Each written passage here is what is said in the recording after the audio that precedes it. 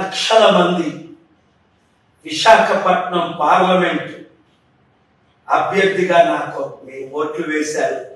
నా హృదయపూర్వక వందన మీరందరూ ఆశ్చర్యపోతున్నారు. ఏమైంది? తొమ్మిది లక్షల ఓట్లు బీజేపీ టీడీపీ అభ్యర్థి అయిన శ్రీ భరత్కి ఎట్లా పడ్డాయి? వెయ్యిలో ఒకటి కూడా కనీసం తొమ్మిది లక్షల్లో టెన్ పర్సెంట్ తొంభై వేలు వన్ పర్సెంట్ తొమ్మిది వేలు మనకి ఎనిమిది వేలు కూడా ఎందుకు పడలేదు? అంటే వెయ్యి ఓట్లు భరతకు పడితే మనకి ఒకటి కూడా ఎలా పడలేదని ఆశ్చర్యపోతున్నాడు భరత్ కూడా. అయితే షాకింగ్ ఏంటంటే భరత్ జనరల్ ఏజెంట్ చాలా మంచి తెలివైన వ్యక్తి హ్యాండ్సమ్ ఒక స్టార్ లాంటి కమ్మ కమ్యూనిటీకి సంబంధించిన మేమందరం కూర్చుంటుంటే ఆరు డిమాండ్ చేస్తున్నాం సంతకానికి. ఆయన షార్ట్ స్టేట్మెంట్స్ ఇచ్చాడు. ఆయన పేరు సుమన్. ఆయన విశాఖపట్నం బార్ అసోసియేషన్కి మాజీ ప్రెసిడెంట్ హైలీ ఎడ్యుకేటెడ్. చాలా మంచి ఆయన కనబడ్డాడు. పరిచయం చేసుకొని మేమందరం ఉంటుండగా సార్ మోదీ గారి దయతో ఈవీఎం ఆర్గనైజ్డ్ రష్యన్ చిప్ ద్వారా జరిగినది twenty five percent vote bank మాకు అందింది. అందుకే చంద్రబాబు నాయుడు గారు కూడా మోదీ గారితో పొత్తులు పెట్టుకోవడం జరిగింది. మాకు లాభం అయింది అవును. ఎవరెవరు షాక్ అవుతున్నారు ఎందుకు షాక్ అవుతున్నారు మీ కామెంట్లన్నిటికీ నేను జవాబులు ఇస్తాను మోదీ గారు షాక్ అవ్వట్లేదు. బీజేపీ నేతలు షాక్ అవ్వట్లేదు. వాళ్ళందరికీ తెలుసు.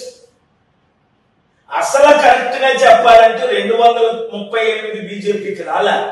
దాదాపు నూట యాభై రఫ్ వచ్చింది. కానీ ఎన్డీఏ జూన్ ఫస్ట్ నేను ఏం చెప్పాను? మూడు వందల. కూటమితో బీజేపీ గవర్నమెంట్ ఫాలో చేస్తుంది. మోదీ నెక్స్ట్ ప్రధానమంత్రి అని. చాలా మంది దాదాపు రెండు వందల ఎనభై మూడు వందలు ఇండియా కూటమి. అంటే రాహుల్ గాంధీ మమతా బెనర్జీ సిపిఐ సిపిఎం వీళ్ళందరికీ కేజ్రీవాల్ వస్తుందని అంచనా. అయితే రెండు వందల దాదాపు ముప్పై రెండు వారికి వచ్చాయి ఇండియా కూటమి ఇక్కడ ఆశ్చర్యపోతుంది ఎవరంటే పురంధేశ్వరి. అది రెండు వేల పంతొమ్మిదిలో నేను విశాఖపట్నంలో పోటీ చేస్తే ముప్పై ఆరు వేలు వచ్చాయి. ఇప్పుడు లక్షలతో నేను ఏ విధంగా రాజమండ్రిలో బీజేపీ అయ్యాను? ఎక్కడి నుంచో కడప నుంచి వచ్చిన సీఎం రమేష్ అనకాపల్లి. నేను అనకాపల్లిలో ఎలాగే ఎంపీ అయ్యాను? ఇలాగ బీజేపీ నాయకులు అందరూ ఆశ్చర్యపోతున్నారు. దేశ నాయకులు కాదు నేను రాష్ట్ర నాయకుల గురించి నేను చెప్తున్నాను.